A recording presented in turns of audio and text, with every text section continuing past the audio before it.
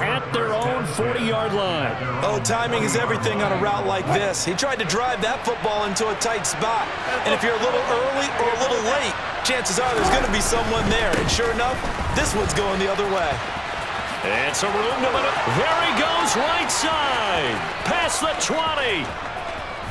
And all the way home for a Broncos score. I guess when you look back on it, it was just a matter of time until he popped a big one like that.